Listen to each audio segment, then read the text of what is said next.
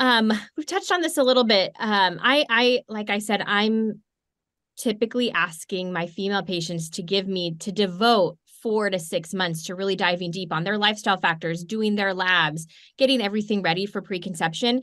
And sometimes their their male partner will do this with them. But let's say some a guy has no known fertility issues. We just want to maximize his chances of conceiving with his partner. What's your advice on how long before they start trying should he start, you know, doing the exercise and getting good quality sleep and getting dietary antioxidants to support the quality of his sperm?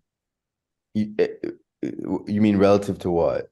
Like how long before? How long before the couple really starts trying to conceive, like timed intercourse, they're really ready to go? Oh, I, I'd say at least three months. At, at least three months, yeah.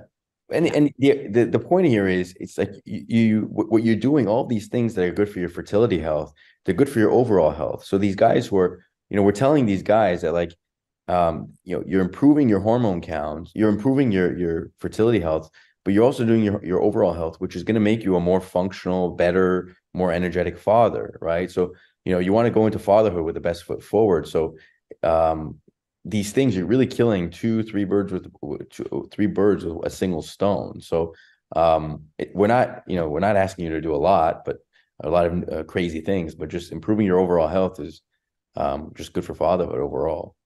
Yeah, I talk about that all the time with preconception counseling.